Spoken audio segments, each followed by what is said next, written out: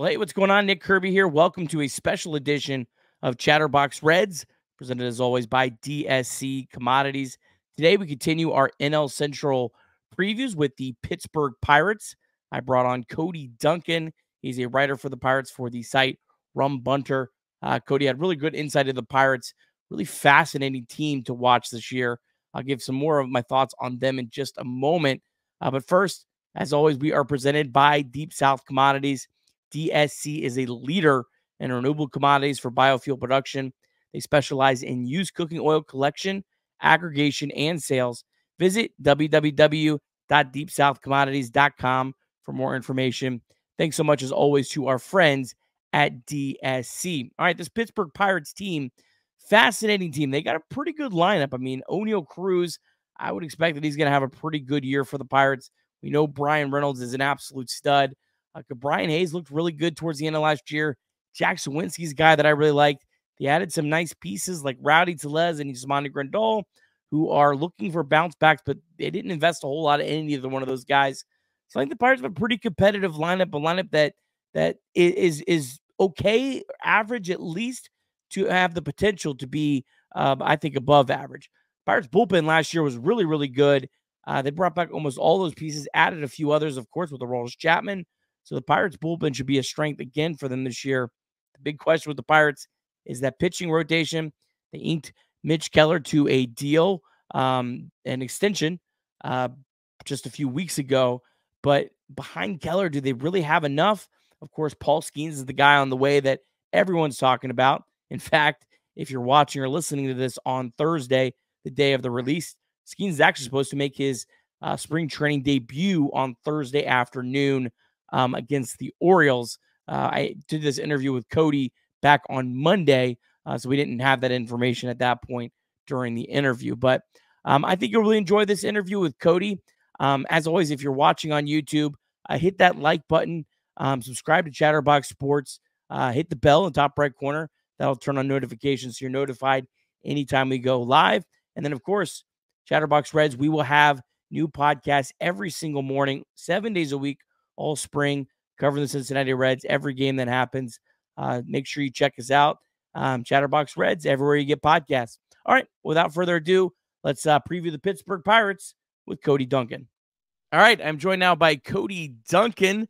Uh, pleased to have him on to preview the Pittsburgh Pirates. And Kody, when we talk about the Pittsburgh Pirates on our Red Show, they are a very polarizing topic.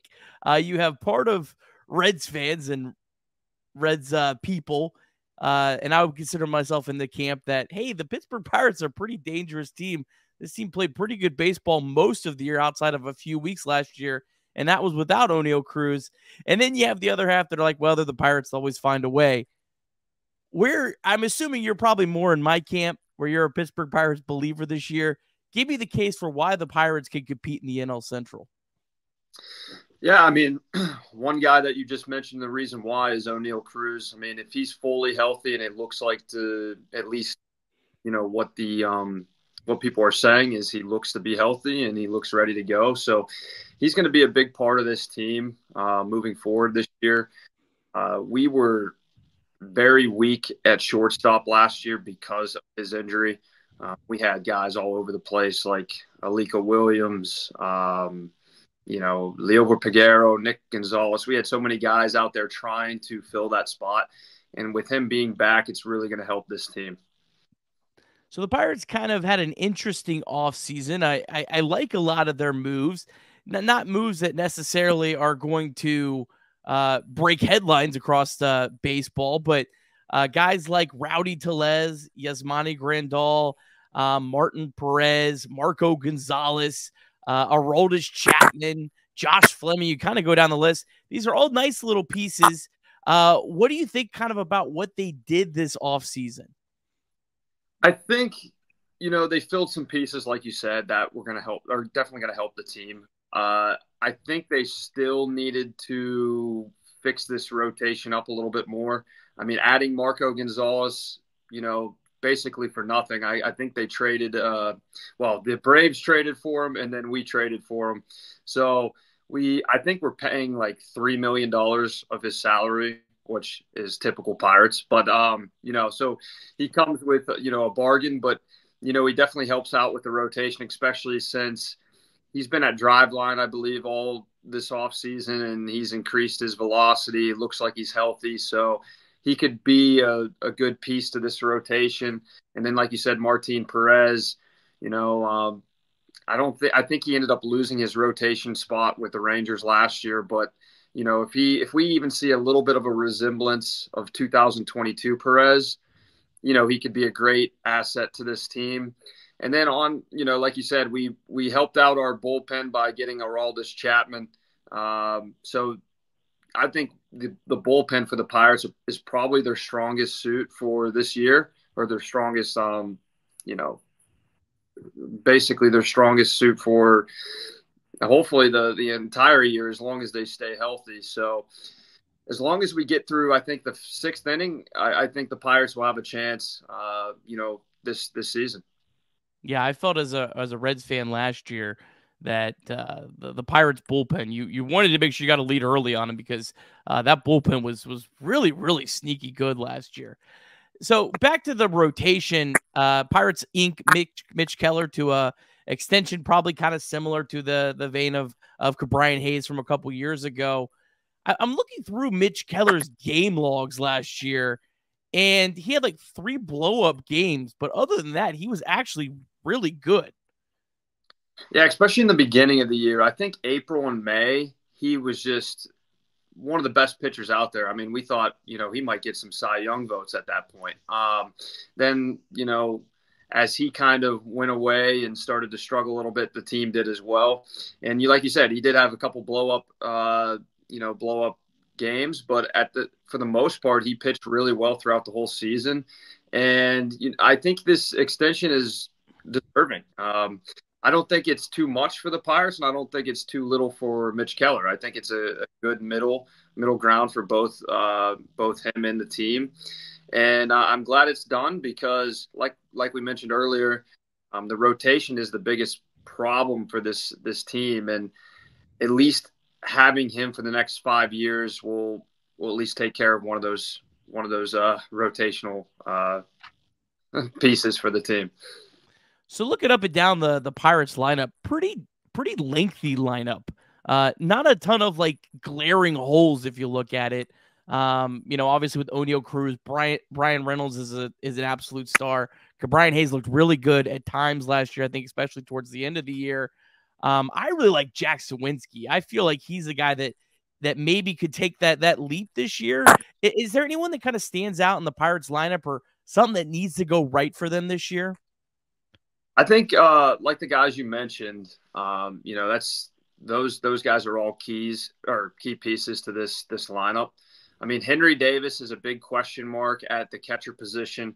Um, you know, first spring training game, apparently he he played pretty well uh, behind the uh, behind the dish. So it's you know we'll see how he ends up doing, but he's definitely fighting for a, uh, a well the starting spot. But I know they've given Grandal you know, obviously he's going to be a part of the team. I mean, we paid him, I think, 1.5 million, so of course he's going to be part of the team. Maybe he got 2.5. I might I might have mistaken there, but regardless, he's fighting between Jason Delay and Ali Sanchez uh, for that second spot. But that doesn't mean he, you know, if he, he if he beats both of those guys, uh, he still could still get he still could get the starting uh, you know catching job, and that would be huge for this team because we're not really worried about his hit, hit tool. I mean, he can hit the ball. Uh, you know, the the stats don't show for it. Last year, he was dealing with an injury, and he was also a rookie. But you know, he hit through all through the minor leagues. He's you know, I think he was two for three at spring spring training the first game. He's his his exit velos are very very nice. Uh, it's very encouraging. So that's a guy that's you know to keep an eye on, especially if he ends up being the starter at, at the catcher position. That would be huge for the team. But there's another guy I want to mention that not a lot of people know of, or even know that he's on the Pirates, and that's uh, an addition that we added, or the Pirates added uh, this offseason. They traded for Edward Olivares from the Kansas City Royals. And this kid, you know, he could be a starter, and I think he will be in right field uh, you know, I think the the outfield is going to look like Bryan Reynolds in left, uh, Jack Suwinski in center. Uh, very high on Jack Suwinski as well as you mentioned, but then I think Edward Olivares takes this this right field position as long as he you know performs well. I mean, last year, uh, you know he he had a pretty good he had a pretty good year. He had 354 at bats. 12 home runs, batted 263 with a 317 on base percentage, had a 769 OPS. Um, that's a guy that, you know, maybe on a big market team wouldn't be making the starting lineup, but for us, that's that's that's a that's a key piece. And so I'm I'm hoping he even takes another step forward with the Pirates. And I know his defense is very suspect, but his offense can definitely help this team. So uh, that's a guy that I would definitely at least pay attention to. Well, and he probably be batting what eighth or ninth. So I mean, that's still a a pretty solid bat for for the bottom of the order. I, I want to go back to to Henry Davis, who you mentioned last year. Um, obviously, the Pirates had Endy Rodriguez, who unfortunately you guys lost for the year. Uh, just a, a brutal uh, uh, loss because he looked like an absolute star in, in the making a catcher, in, in my opinion. But last year they played Henry Davis out in the outfield. Are they doing that again this year, or is he just going to catch and DH? Have they said anything about that? Yeah, so I'm not entirely sure. I mean, I know that's definitely a possibility that he plays in the outfield, but at least from the reports that he his main focus is at being a catcher uh, this year, especially like you said with Endy being out for the year, they need him to step up and be a catcher uh, for this 2024 season. If it doesn't work out, we know that we could at least put him in the DH spot or, you know, give him some more opportunities in right field. But to be honest with you, I, I really don't want to see him in the outfield. I know I know a lot of play or, a lot of fans don't want to see him in the outfield. One, he's a big liability out there. Uh, he, he he has a great arm, but man, uh, it looked sometimes last year it looked really really bad. Um, but you know, if he like I said, his our his main focus should be the catcher catcher role this year. I'm, and I'm hoping that he either catches or he DHs. Maybe once or twice a week, maybe in right field. But other than that, I really hope that's not the case. All right. Uh, I, I want to ask you one uh, hitting, one one offensive player, I should say, this year uh, that's under the radar that we need to watch this season. I know you already mentioned uh, Olivares, but is there any other – any other offensive players to watch this year? Maybe that won't even debut to start of the season. Well, I think he's going to debut, and the guy that I'm mentioning uh, is Liover Peguero. Uh, he was a rookie last year. Uh, always been. He was a fringe top 100 prospect. At one point, he was. A, uh, I think he was in the 90s uh, at one point, maybe a couple years ago. But he is fighting for the second base position, and I think he's fighting between Jared Triolo, which is another guy that's, you know, I could have mentioned, but, and then Ji-hwan Bae and Nick Gonzalez. But I think he's the guy that's going to be pr- the guy that, well, I think he's going to come out with the starting role. At least that's what it looks like anyway. You know, he had, he had 198 at bats last year. He had seven home runs, 237 average, but a 280 on base definitely needs to improve. Uh, his walk rate definitely needs to improve. But that's a guy that in my opinion, he has all the tools to break out this year and really, you know, take a hold of that position. And and even if he's batting eighth or ninth, you know, if he's batting, you know, if he has a you know OPS of 750 and he's batting eighth or ninth, we'll we'll take that all day. You know, um, so that's a guy that at least keep an eye on as well. Um, very, he has a very nice glove uh, already showing uh, showing some uh, highlight reels of, of, yesterday's game. So uh, he had a diving play at second base to get an out. So it's like I'm not worried about his glove. It's more so what can he do um, at the plate. And I think this is a year for him to show um, what he's capable of. Roansy Contreras, a guy that was really, really good back in uh, 2022. I think he dealt with injuries last year, if I remember right um, and, and then struggle when he when he when he pitched. What's his role for the team this year? Well, reports coming out is his velocity is back up. Uh, in 2022, he was averaging 94 to 96 miles an hour on his fastball. I mean, he even reached up to 98, 99 at some points. Um, but last year, uh, it just fell off. He was pitching, I think the, you know, on average, he was pitching 91, 92 miles an hour and, and his, his control was not there. He's always had control issues. So when you have control issues and you're throwing, you know, 91 mile an hour heaters, it's not going to be a good recipe. Uh, so, but apparently, uh, like I said, his velocity is up. He's actually going to um, have, uh, start to or today. I mean, obviously this this video might go out a couple days later, but he's starting in spring training today, um, and we'll see how he ends up doing. But that's I feel like because uh, he's out of options, and there's like I said, reports that he's he's feeling better about himself and he's pitching better. Uh, I feel like he's going to be, you know, maybe maybe that fifth spot in that rotation at least to start the season. It'll be interesting to watch him. Any other bullpen arms that are maybe under the radar? Yeah, Carmen Mlodzinski. He's a he was a rookie last year. Uh, I'm not sure if a lot of people know who he is, but he pitched really well last year. Uh, he had a 2.25 ERA in 35 games, uh, 36 innings pitched, and had 34 strikeouts with a whip of 1.28.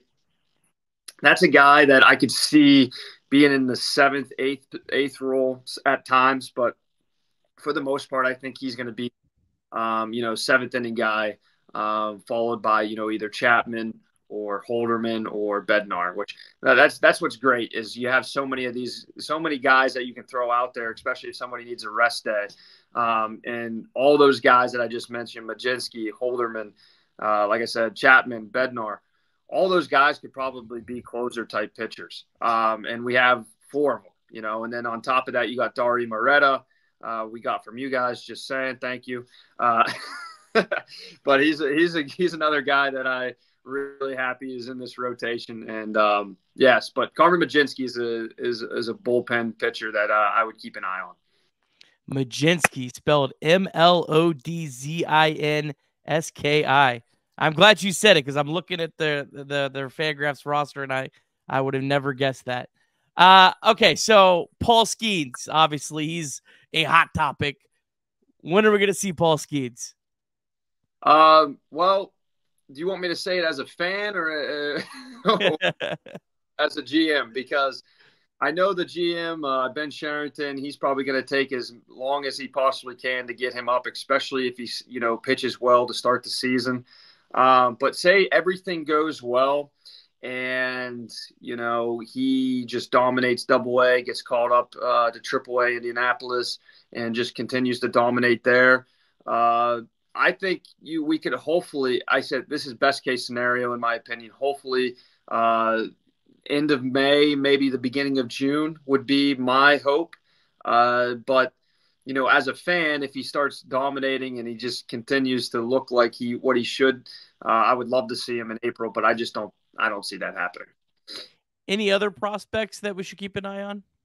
Yeah, Jared Jones. Um, he's he's I believe in almost every top 100 prospect now with uh, Baseball America. I believe he is. I know he's on MLB Pipeline, and I know he's on Fangraphs top 100. So he's a guy that uh, he actually just pitched the other day. Um, he's he's throwing around 98, 99 mile an hour fastballs. His his his um, Spin rate is incredible. Uh, he pitched really well in Double A last year. I think in Double A, let me look real quick. Yeah, he had a 2.23 ERA. Did struggle a little bit in uh, in Triple A, but um, you know, towards the end of the season, he pitched really well. So that's a guy um, that you could at least if you're a Reds fan and you're trying to pay attention to the your you know your division rivals, that's a guy that I would at least keep an eye on because he you might end up seeing him throughout this season. Well, Kody, this has been fantastic. Thanks so much for uh, uh, this preview of the Pirates, and uh, looking forward to the season. It'd be fun if uh, the the Reds and Pirates both could get back up to the top of the NL Central. I remember back in 2013, went to PNC Park towards the end of that season, and it was awesome. It was a lot of fun watching those teams both at the top of the division. So that'd be cool to see that again this year. Yeah, for sure. I um you know, I haven't mentioned who I thought was going to win the division, but I actually do think it's going to be the Reds. Oh. With, with your guys' uh, additions with Frankie Montas, Nick Martinez, uh, you know, the only thing you guys were missing was pitching, and uh, your your offensive lineup, as long as it stays healthy, is incredible. So, yeah, uh, it should be a good season for you guys. All right. Well, thanks again, Kody. We'll catch up again soon. All right. Well, thanks for watching today's video. If you liked it, hit that like button below and uh, subscribe to Chatterbox Sports on YouTube. We've got all kinds of great content off the bench uh, with Trace Fowler. That is Monday through Friday at 10 a.m. Uh, we also have Chatterbox Reacts, uh, Reed and Elliot uh, reacting some of the top news stories. Chatterbox Bearcats, Chuck and Houdini. They go live after every UC basketball game. All kinds of great content. We're continuing to grow. Make sure you subscribe to Chatterbox Sports, uh, and we will see you again next time. Have a great day, everyone.